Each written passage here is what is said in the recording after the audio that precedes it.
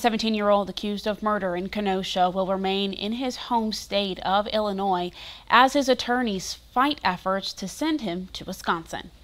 This is a very unique, extraordinary situation. Um, there, there's a massive amount of video evidence that shows that there's, you know, beyond a shadow of a doubt, that this is not a legitimate criminal prosecution. It is a political prosecution. Kyle Rittenhouse appeared on a video stream this morning during a court hearing in Lake County, Illinois. His attorneys argue there's no reason to rush, but the state's attorney says they want a hearing as soon as possible.